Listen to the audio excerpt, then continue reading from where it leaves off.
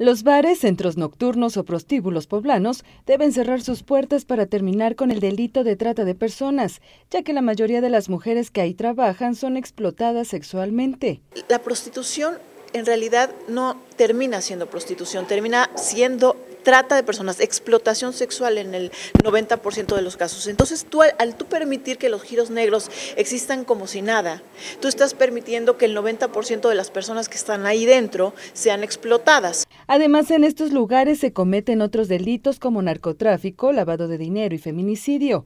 Carla de la Cuesta, quien fue víctima del clan Trevi Andrade, visitó la entidad para firmar un convenio de compromiso con candidatos a diputados federales a fin de que legislen para endurecer las sanciones contra este delito.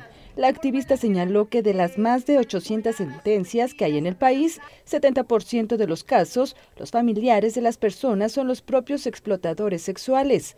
Las redes sociales siguen siendo el método más usado para enganchar a las mujeres y obligarlas a prostituirse.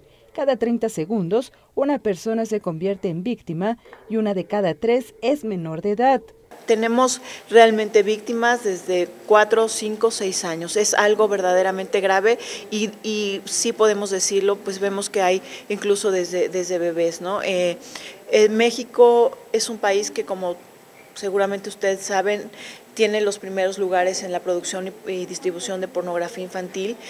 La activista llamó a hacer conciencia sobre las acciones preventivas y las sanciones a los responsables para evitar que más mujeres y menores de edad sigan siendo víctimas de la trata de personas.